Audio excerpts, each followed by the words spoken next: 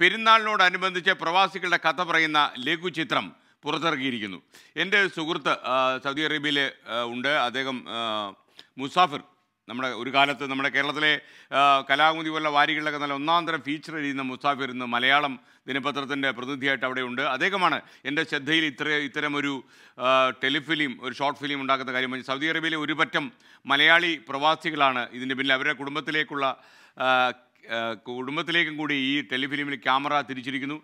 തേടി എന്നാണ് ഈ ഷോർട്ട് ഫിലിമിന്റെ പേര്. അതിന്റെ വിശദാംശങ്ങളാണ് ഇനി.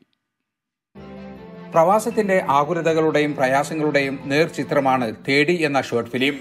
കുടുംബത്തിനു വേണ്ടി മരുഭൂമിയിൽ ജീവിതം ഹോമിക്കുന്ന പ്രവാസിയുടെ ജീവിത യാഥാർത്ഥ്യങ്ങളിലേക്ക് ക്യാമറ തിരിച്ചിരിക്കുകയാണ് അണിയറ പ്രവർത്തകർ. പ്രവാസിയുടെ പൊള്ളുന്ന ജീവിതത്തോടൊപ്പം മരുഭൂമിയുടെ സൗന്ദര്യവും ക്യാമറ ഒപ്പിയെടുത്തിരിക്കുന്നു. മുഹസിൻ കാളിക്കാവാണ് ചിത്രത്തിന്റെ രചനയും സംവിധാനവും നിർവഹിച്ചിരിക്കുന്നത്. ഈ പ്രവാസി ഇവിടെ അനുഭവിക്കുന്ന പെരുന്നാൾ ദിവസങ്ങളിൽ ഇവിടെ അനുഭവിക്കുന്ന അതേ ദുഃഖങ്ങൾ അവനെ കാണാത്തതുകൊണ്ട് അവന്റെ മക്കളും അവന്റെ കുടുംബങ്ങളും അനുഭവിക്കുന്നുണ്ട്. അതും കൂടെ ഞങ്ങൾ ഈ സിനിമയിൽ എടുത്തിട്ടുണ്ട്. അങ്ങനെയുള്ള ഒരു കഥാ പശ്ചാത്തലത്തോടെയാണ് ഇത് നീങ്ങുന്നത്. തിയേറ്റർ പ്രൊഡക്ഷൻസിന്റെ ബാനറിൽ ഈ ചിത്രം നിർമ്മിച്ചിരിക്കുന്നത് മുഹമ്മദ് ഷിഹാബ് അയ്യാരിലാണ്. തുഷാര ഷിഹാബാണ് അസോസിയേറ്റ് ഡയറക്ടർ. പ്രമുഖ മാധ്യമ പ്രവർത്തകൻ മുസാഫിർ ആദ്യമായി ക്യാമറയ്ക്ക് മുന്നിലെത്തുന്നു എന്നതും ഈ ലഘുചിത്രത്തിന്റെ പ്രത്യേകതയാണ്.